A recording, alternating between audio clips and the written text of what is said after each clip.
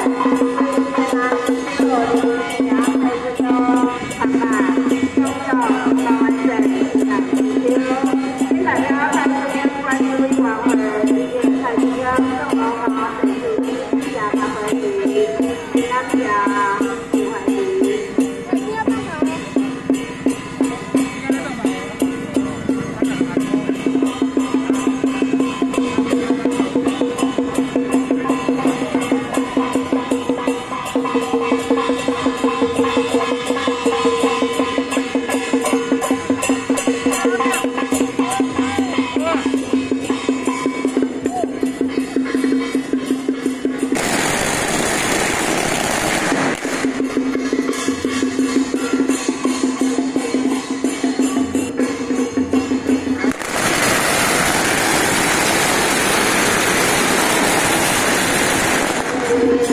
I don't know the logic that you feel.